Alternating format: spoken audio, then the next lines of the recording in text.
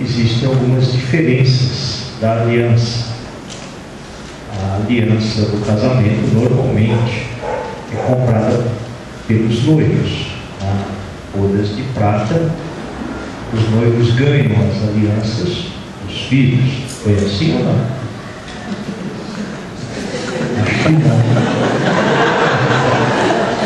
Filhos, compre as alianças. São 25 anos. Vocês fizerem 50, já sabem, peçam as alianças para eles. Aí vai ter neto, bisneto, já dá mais para dividir. E uma outra diferença que existe também é que nas, na bodas de prata, a aliança agora não é mais de ouro, ela passa a ser de prata. Não está rebaixando, porque a prata também é um metal nobre, um metal precioso, valioso.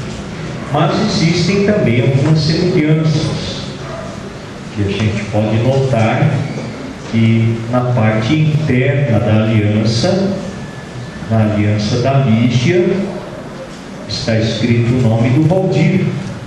E na aliança do Valdir, isso está mesmo que eu já vi, né?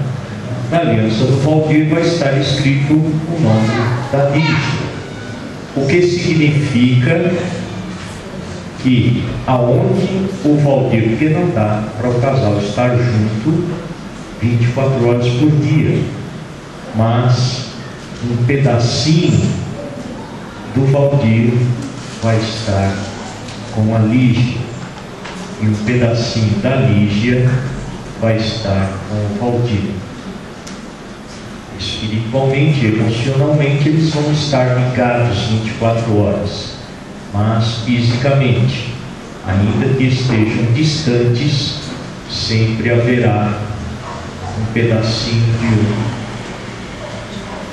unido ali com o pedacinho do outro.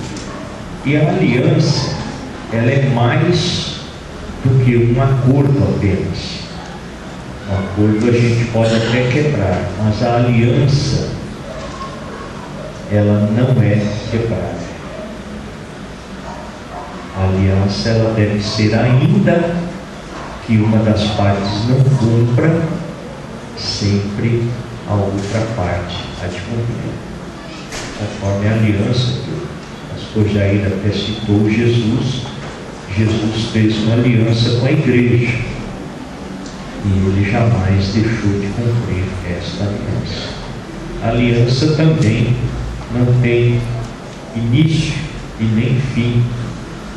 Por isso, o desafio de vocês amarem até que a morte os separe.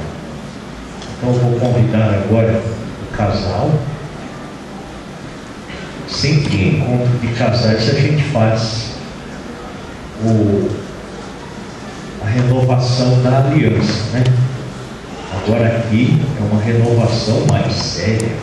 Pode ir.